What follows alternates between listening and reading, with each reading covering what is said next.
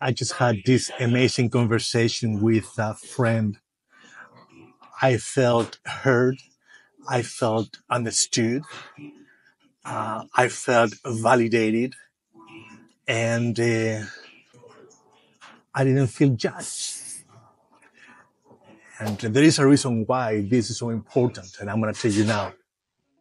The reason why is because I was meeting with a pastor, a fellow pastor from the denomination where I grew up in, and I worked for many years, uh, 20 plus years as a pastor in that denomination. Due to my mental health and due to some uh, interventions that I had on my brain, um, a therapy that I had a few years ago, I lost out of memory and I lost the base of my beliefs as a Christian person and uh, uh, my convictions as a, as a pastor. So for the last few years, uh, I had forced the construction of my faith and I've earnestly tried to rebuild my faith. I needed to talk with somebody.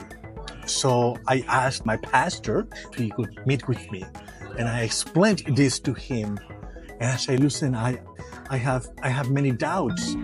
I, I have problems uh, praying. And uh, he just listened. He listened and he gave me some advice. But the advice that was given to me, it wasn't a, a theological breakout of the things that the church believes.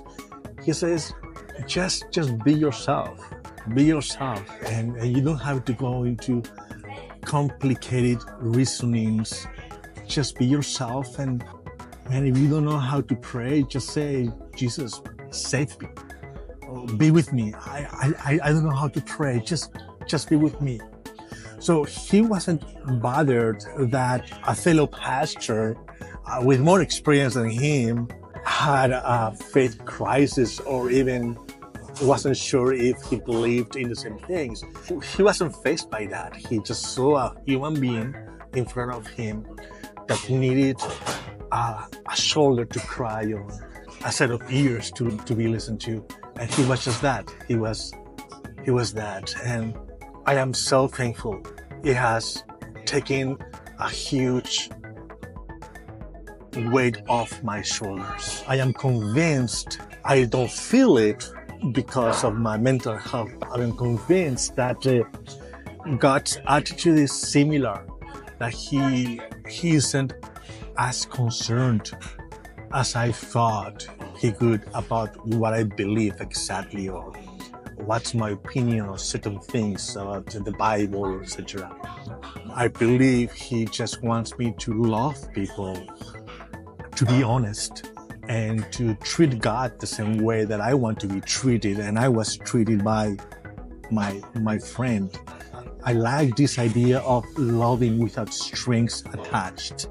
And today I was loved without strings attached. I want to do the same thing.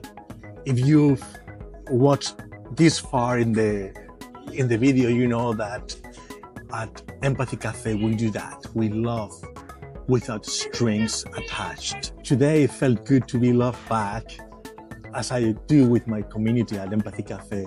But yeah, this whole thing of loving without strings attached is amazing. Thank you. Love you all. Peace and love.